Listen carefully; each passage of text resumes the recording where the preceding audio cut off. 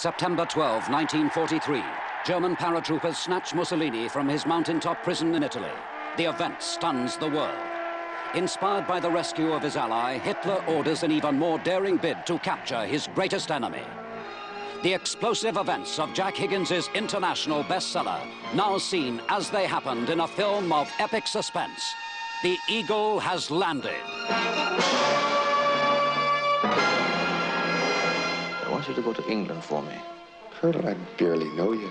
To assist in the kidnapping and safe return to Germany of Winston Churchill. The mission, to seize Churchill at the moment when danger is least expected. Now, a man to lead it, Karl. Oberst Kurt Steiner, commanding the 12th Parachute Detachment. Late autumn 1943, the secret invasion of England begins. What the hell's going on, Haley? Time to find out. Oh, John. Now, calm down, Pablo. Tell me what's happening. Colonel Nana and his men, they're not Polish. They're Germans. And they're going to try and kidnap Church. What? Now, this Churchill business. I'll feel it once it's seen through. If anything happens to Churchill because you're late, this country's gonna swing you from Big Ben by your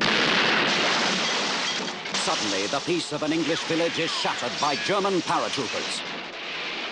What if Churchill prefers to die? What if abduction becomes assassination?